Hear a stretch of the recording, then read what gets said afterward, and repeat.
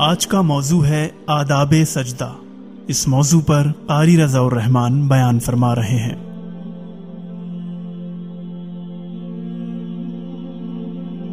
نحمده ونصلي على رسوله الكريم اما بعد فاعوذ بالله من الشيطان الرجيم بسم الله الرحمن الرحيم محترم سامعین، السلام علیکم ورحمۃ اللہ وبرکاتہ۔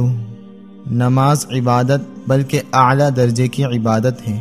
اس لیے نماز میں قیام، قعود، رکوع اور سجود کی وہ شکلیں اور وہ انداز مقرر کیا گیا ہے جو عبادت اور بندگی کی بہترین اور مکمل ترین تصویر ہیں اور ان نامناسب انداز و حیت کو خصوصیت کے ساتھ منع فرمایا گیا ہے، جن میں تکبر، لاپرواہی یا بد منظری کی پہلو ہو یا کسی بد فطرت مخلوق کے اٹھنے بیٹھنے سے مشابہت ہو۔ اس اصول کے تحت رسول اللہ صلی اللہ علیہ وسلم نے اس سے منع فرمایا کہ سجدے میں آدمی کی کلائیاں زمین پر اس طرح بچھا دی جائیں جس طرح کتے اور بھیڑیے وغیرہ درندے بچھا کر بیٹھتے ہیں۔ اسی طریقے سے اس طرح بیٹھنے سے بھی منع فرمایا جس کو اس حدیث میں اقبت الشیطان فرمایا گیا ہے۔ یعنی شیطان کی طرح بیٹھنا۔ اس سے مراد غالباً دونوں پاؤں پنجوں کے بل کھڑے کر کے ان کی ایڑیوں پر بیٹھنا ہے۔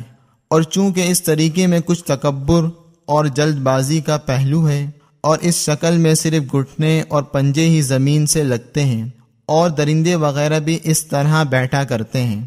اس لیے نماز میں اس طریقے سے بیٹھنے سے رسول اللہ صلی اللہ علیہ وسلم نے خصوصیت کے ساتھ منع فرمایا ہے۔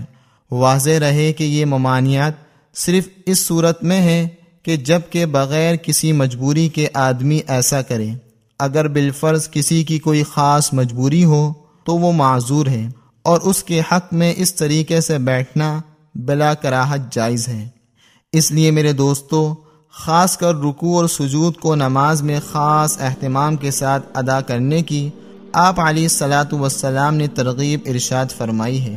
اس لیے نماز میں ان ارکان کو اطمینان اور سکون اور صحیح طریقے سے ادا کرنے کا اہتمام فرمائے۔ اللہ تعالی ہمیں نماز کے تمام ارکان اور واجبات کو صحیح طریقے سے ادا کرنے کی توفیق عطا فرمائے۔ وہ آخر عن الحمد للہ رب العالمین۔